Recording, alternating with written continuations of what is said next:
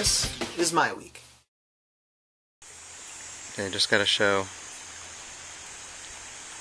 that this whole area, I was here earlier during the year, springtime, and this is where I did some of the last of the living scenes, and the sandbank that was here is completely gone. Like from the last week, the rains from last week just washed it away.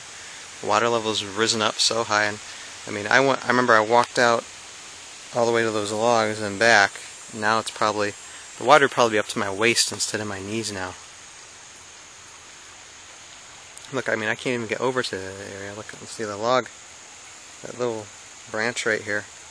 That's where I was leaning up against on one of, on one of my scenes, and uh, one of the shots that I had on, and I'll pop it in front of the camera right now.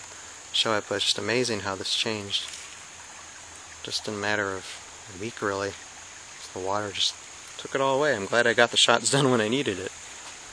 Yeah, just taking a walk. There's my wifey and my mom up there, and just taking a walk in the park because I'm able to a little bit, but not too much longer. Gotta go home and rest again. Anyway, just amazing what can happen. Hello, who are you, and what are you doing in our car? I was just coming to pick up my wife, and all of a sudden, there's a cat in our car. This is looking to be an interesting week.